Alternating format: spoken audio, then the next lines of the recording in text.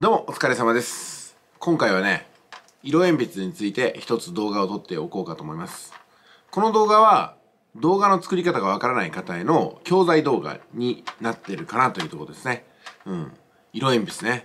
思いもしないようなテーマだと思います。なんでね速稼塾の久保が投資の話でもなくまあビジネスの話でもなく恋愛の話でもなくアラフォーアラフィフの話でもなくねこの色鉛筆を持ち出すのかってことなんですけどもこの色鉛筆一つにも考察があるってことなんですよ。ね。皆さんの家庭にも色鉛筆あるでしょ。なかっても、うん、幼い頃使ったことがあるんじゃないですか。じゃあ色鉛筆についてここまで考えたことがありますか？っていうことをね、お話ししようかと思います。まずこれを開くと24色の色鉛筆。まあ何色でもいいんですけどね。8色とか16色っていうのがあると思います。多分ね、この時点でもうすでに私から言うことがあるんですよ。なぜかっていうと、色鉛筆はなんで4色、8色、16色、24色っていう風なね、この4の倍数になってるのかなってとこです。だって、虹のように7色の色鉛筆があってもいいでしょうもしかしたらあるかもしれませんけどもね。検索してみてください。色鉛筆、ね、種類とかで。したことないでしょあと、50色の色鉛筆とか51色の色鉛筆。なんでないんですかねあとね、私が思うのは、黒が2本あるような色鉛筆はなんでないのかなと。ね。黒が2本。どういう意味か分かります？黒って結構な頻度で使われるんですよ。だから真っ先になくなるのが黒じゃないかなと思うんですよね。だから黒を2本入れて51色の色鉛筆とか25色の色鉛筆ってなんでないのかなと。あとは色鉛筆を削るための鉛筆削り付き色鉛筆とかね。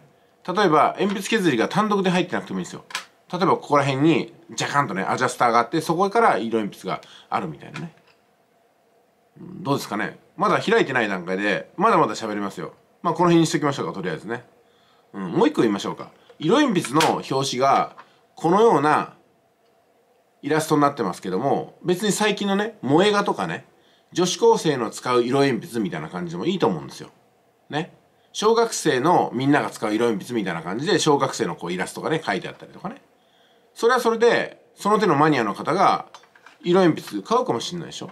うん。まあ、いろんな攻め方があると思います。はい、ちなみにね、私こうやってね、タクティスのコロン使ってますけども、なんかね、女子高生の匂いっていうね、なんかコロンがあるそうなんですよ。これはこれでね、売れてるみたいです。女子高生に売れてるわけではないですよ。女子高生の匂いが嗅ぎたい人に売れてるらしいんですよ。これすごいでしょ。アイディア商品ですよね。中身は何のことない単なる香水だと思うんですよ。でもタイトルの付け方で売り上げが50倍くらいになるんですよ。ね。まだまだありますよ話すこと。ありそうでしょ？はい色鉛筆の話に戻しましょうか。三菱の色鉛筆。ね。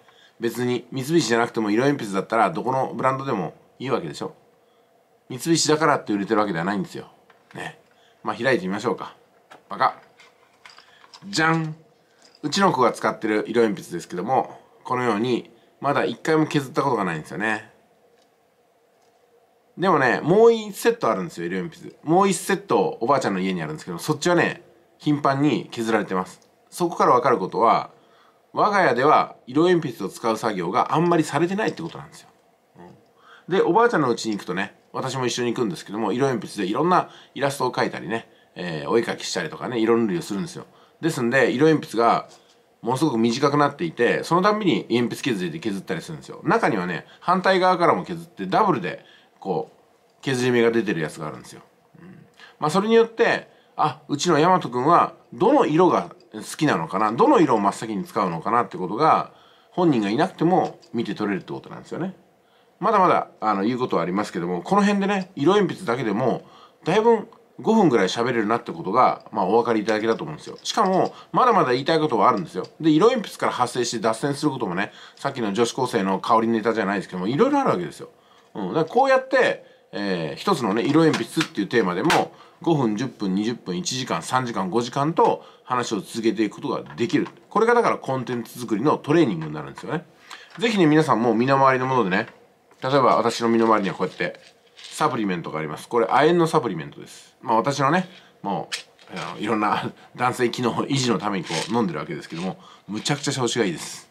はい。それから口臭予防にボトルガムがありますね。これでも随分長い間語れますよ。私の経験とかそれからボトルガムの歴史とか知識とかね。ボトルガムの種類とか価格とかこういったものにフォーカスしながらいくらでも話は続けられます。はい。お茶イエモンティーです。実はね最近ね近くのドラッグストアやスーパーでキャンペーンがあるんですよ。それはこれです。一度は飲んでいただきたいということでこの手のね同じ種類のお茶がもう退鎮されてるんですよ。多分これね伊藤園さんですか？これは。うん。まあ、この 600ml のボトルを作ってこのお茶を売りたいメーカーがもう一大キャンペーンかけてると思うんですよ。やっぱり私もね箱買いしてますこれは。しかも10ケース買ってます。これからの夏の時期に合わせてね。で 600cc なんですよ。ちょっと大きいんですよね。で角型ですごく持ちやすいのとあのこれ実はね中身はねペットボトルのお茶が入ってるんですよ。なぜかっていうと自宅で飲む際はこの 500ml600ml のペットボトルは割高だからです。飲み干したら洗ってあのペットボトル2リットルのやつからお茶を入れてこうやって節約してるんですよ、ね、で一度は飲んでいただきたいというキャッチコピーにほされてケース買いをしてこれから出かける機会が多いですからね。その時にはあの車の中に23本抱えて持ってってね。もう外出先でお茶を飲むようなことがないようにしてるんですよ。その代わりあ美味しそうだなっていうね記念に残るような体験として飲みたいようなあのフルーツとかミックスジュースとかがあったらそれはそれでね5600円かけても飲むんですよ。なぜそういうふうな無駄遣いができるかというと普段から節約を積み上げてるからできるんですよね。まあでもそんなことしなくても 別にね困るような経済状態ではないんですけどもそれこそ500円600円のものをねたびたび飲んでね経済が破綻するようなことは我が家ではないんですけどもただ、まあ、節約の精神ではね染みついてるんですよね。ちまちまとやるのが好きなんですよ。ペットボトルに「しめしめ」って言ってからねこれで節約できるぞって言ってからねこの中にねあのペットボトル2リットルからお茶を注いでこうやって飲むみたいなのが好きなんですよね、うん、これはやめられないと思います。まだまだ話続きますよ。色鉛筆からここまで来るわけですよ。皆さんいかがですかね。まだまだあります。はい。まあもういいな。この辺にしときましょうか。はい。ということでね今回はねあの動画の作り方コンテンツの作り方それからあのネタがないよっていう人ネタがないんじゃなくてうん、ネタを作る能力がないんですよそれは。身の回りにいくらでもありますよネタっていうのは。富士山船太陽波空カモメいくらでも引っ張っていけるでしょ、うん、全体的にはタペストリーとかねカーテンとかね。はいということでございます。じゃあいってらっしゃい。